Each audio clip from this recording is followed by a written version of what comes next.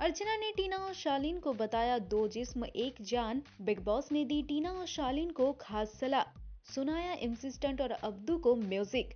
जी हाँ टेलीविज़न के सबसे बड़े रियलिटी शो बिग बॉस 16 के घर बीते रात बिग बॉस ने घर वालों को दिया, उनसे अपने दिल का हाल बयान करने का मौका।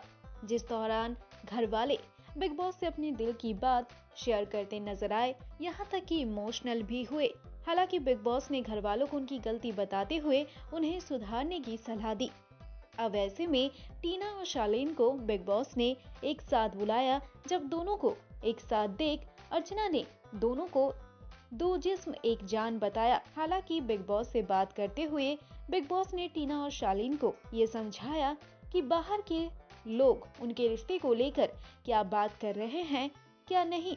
इसके बारे में वो ना सोचे और अपने गेम पर फोकस करे। अपने रिश्ते को मज़बूत रखे, जिसके कारण टीना और शालीन के बीच देखने को मिली एक प्यारा बॉन्ड जब टीना ने शालीन से ये कहा कि वो बहुत ही खुश नसीब हैं जो उनसे मिली और उनकी दोस्त बनी तो वही एमसिस्टेंट और अब्दू को अच्छा फील कराने के लिए बिग बॉस ने उन्हें म्यूज़िक सुनाया, जो उनके ही गाए हुए गाने थे जिसे सुनकर इंसिस्टेंट और अब्दू हुए बेहद खुश। वेल well, इस वीडियो को लेकर आपका क्या रिएक्शन है हमें कमेंट कर ज़रूर बताएँ। और बिग बॉस 16 से जुड़ी इसी तरह की लेटेस्ट अपडेट एंड गॉसिप के लिए हमारे चैनल पर नज़र रखें और हमारे चैनल को सब्सक्राइब करना और बेल आइकन को प्रेस करना बिल्कुल ना भूलें।